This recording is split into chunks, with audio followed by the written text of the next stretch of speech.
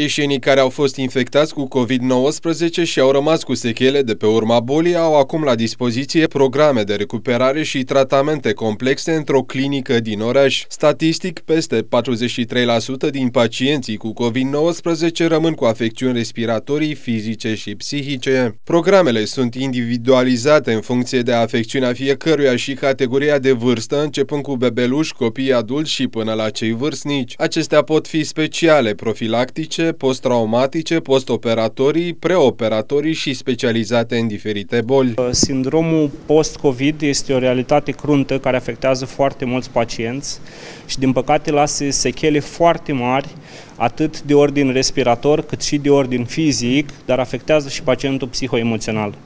Și tocmai de aceea am creat un pachet care cuprinde gimnastică medicală, cuprinde masaj terapeutic, uh, consultul medicilor, care trebuie făcut pentru recuperarea pacienților post-COVID. Primii pacienți am început să avem anul trecut chiar după trei luni de când a început pandemia, uh, însă în ultima perioadă am avut foarte mulți zeci de pacienți care ne-au cerut ajutorul pe recuperarea post-COVID, pentru că pacienții de regulă prezintă în primul rând afectare respiratorie.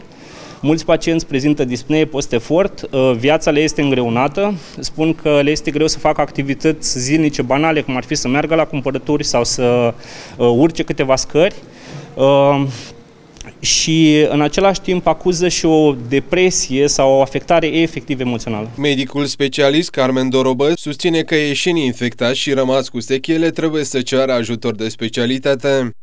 Este vorba de afectare pulmonară, afectare cardiacă, afectare renală, afectarea sistemului nervos central. Deci vedeți cam în ce puzzle ar trebui noi să lucrăm pentru ca un pacient care a trecut prin faza acută de infecție cu SARS-CoV-2, ulterior trebuie la 30 de zile obligatoriu acel control de care am discutat pentru examen imagistic pulmonar și examene de sânge, după care orientăm pacientul respectiv spre zone unde este cazul, spre alte specialități.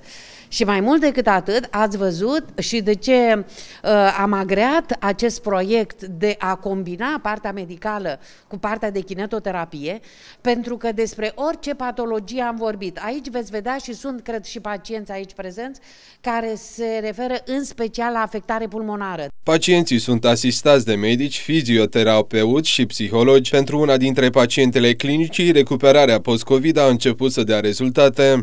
Uh, nu am observat până nu am început efectiv să mișc mai mult după perioada post-COVID. Uh, lucrând de acasă, nu prea mi-am dat seama că de fapt mi este afectată viața.